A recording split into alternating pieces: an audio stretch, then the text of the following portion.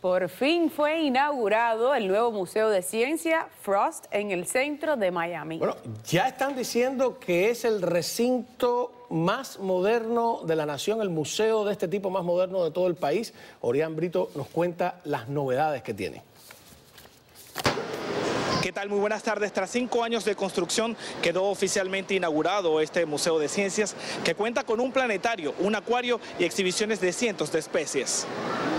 Hoy abrió sus puertas este moderno museo de 250 mil pies que tardó cinco años en su construcción, la cual está valorada en más de 300 millones de dólares.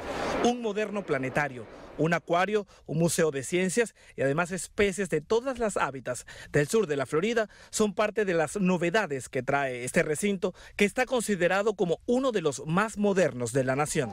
Es un orgullo nuevo para nuestra comunidad eh, y nuestro estado. Este museo es único en el estado y posiblemente en el país y ya, ya lo han reconocido así.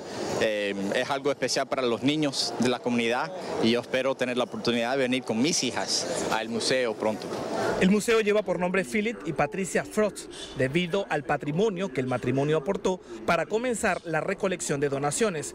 El condado Miami-Dade también aprobó el año pasado un plan de rescate para esta obra de 49 millones de dólares.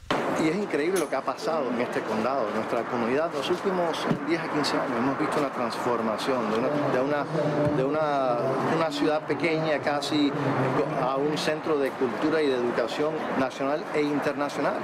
Y eso se demuestra con la afiliación de este museo, el Museo de Frost de Ciencia, con el Museo Nacional Los Smithsonian. Para cubrir los gastos operativos, que incluyen una nómina de 150 empleados, los directivos del museo aspiran recibir a más de 700 mil personas este año. Este museo representa una oportunidad inmensa, una oportunidad no solamente que los niños van a tener de visitar el museo, pero también de captivar la imaginación, abrir el potencial de una carrera en ciencia. El museo estará abierto los 365 días del año, desde las 9 de la mañana hasta las 6 de la tarde. En la página que ven pantalla pueden comprar los tickets. Para América Noticias, Orián Brito.